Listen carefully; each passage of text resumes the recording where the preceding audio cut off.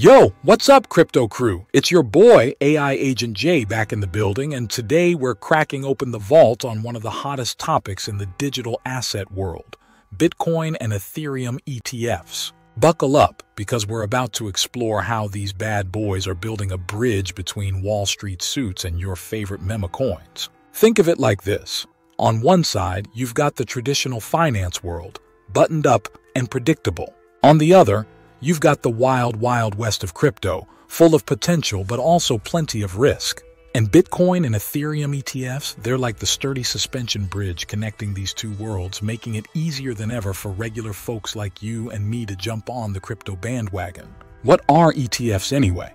Imagine you're at a fancy restaurant with your friends. You all want to try different dishes, but ordering a whole plate of everything would be wasteful and expensive.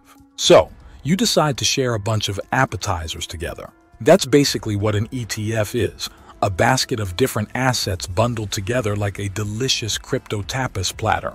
You buy shares of this platter on a regular stock exchange, just like you'd order another round of margaritas. Easy, right? Bitcoin and Ethereum, ETFs, the on ramp to crypto paradise. Now picture this before, getting into Bitcoin and Ethereum meant navigating shady exchanges, learning about seed phrases, which you definitely wrote down somewhere, right? And hoping your computer doesn't spontaneously combust from mining Doge. Not exactly beginner friendly. But with these ETFs, it's a whole new ballgame.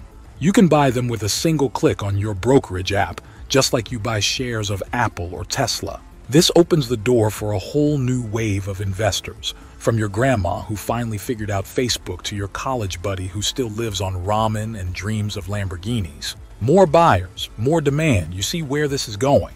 Bullish on crypto? Buckle up for a potential moonshot. Remember that scene in Back to the Future where Marty McFly gets his dad to invest in Pepsi?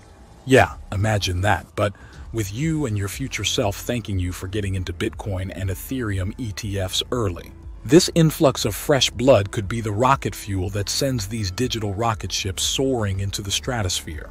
Plus, with ETFs bringing a layer of Wall Street polish to the party, institutional investors like fancy hedge funds might finally feel comfortable dipping their toes in the crypto pool, bringing even more cheddar to the table.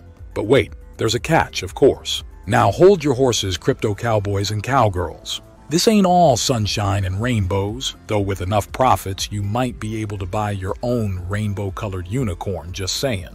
The regulatory landscape for crypto is still a bit like the Wild West, with dusty tumbleweeds of uncertainty rolling around every corner. And remember, correlation isn't causation. These ETFs might not single-handedly send Bitcoin to the moon. Just like that Pepsi investment didn't make Marty McFly a billionaire, although Let's be honest, he did pretty well for himself. But hey, a rising tide lifts all boats, right? Final thoughts. Invest wisely, hold EL tight, and stay curious. So, are Bitcoin and Ethereum ETFs the key to unlocking crypto's golden age? Maybe, maybe not.